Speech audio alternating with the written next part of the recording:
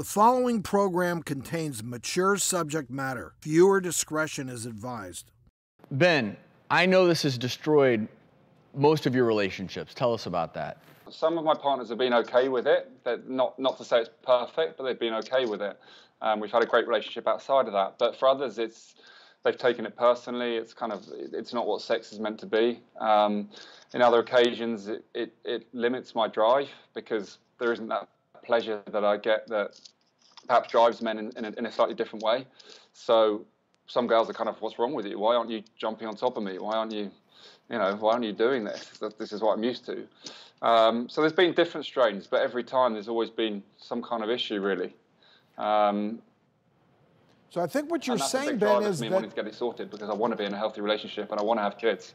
That that it's you're staying away from sex because of your concern that that you can't end that sexual experience in quote unquote the normal way. So what you're saying is a lot of your relationships you you sort of haven't even tried.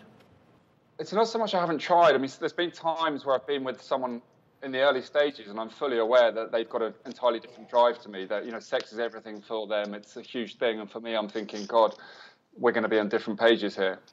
So on that basis, I haven't tried in the relationship, um, and that that's frustrating, really frustrating. But I understand, Ben, that you've actually taken this frustration and you're trying to build towards more coaching and positivity. Tell us about your Naked Professor site and project. Definitely, yeah. So I'm actually, I've got to the stage now where I'm thankful for this in my life because uh, it's a funny thing to say, but you know, through my 20s when this was going on, uh, I was very closed-minded and I was very shut off, and and um, the idea of personal development was something completely foreign to me. And I'm in a considerably different spa- space to where I was when I was 20.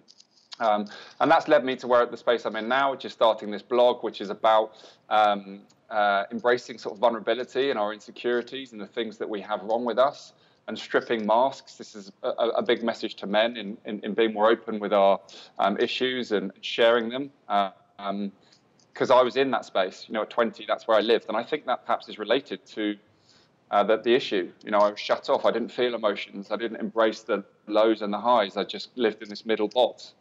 And I link that back to the whole sex aspect. Well, I'm not feeling the, the, the, extor- the, uh, the, the ecstasy of an orgasm. You know, I'm shut off from it, perhaps. So I've done a whole load of personal development stuff, and that's led me to the place where I've got this blog, which is a, a, massive thing in my life now, and it's taking me on this amazing journey. And I believe that the blog may be a source to, to find a solution uh, to the problem. You're on the perfect path, not only for yourself, but I admire you because now you are helping other young men mm-hmm. with similar issues. Because we always say that if physically everything's okay, we often forget the most important sex organ, is right here between your two ears. And I, I, really admire, Ben, what you're doing, turning this into a positive, not only for yourself, but helping others. And also, Millie, Millie and, and the rest of us were talking at length that since physically everything's okay, you will be able to have children there someday. There is hope. You yes. definitely will. We really applaud you bringing awareness to this. And there may be options, you know, beyond with fertility treatment, even with some simple measures. You can oftentimes reproduce or have a healthy family through insemination or even IVF. There's a lot of hope out there, a lot of options, and we thank you for sharing your story and helping many others. Right. Thank you. Keep up the great work, Ben.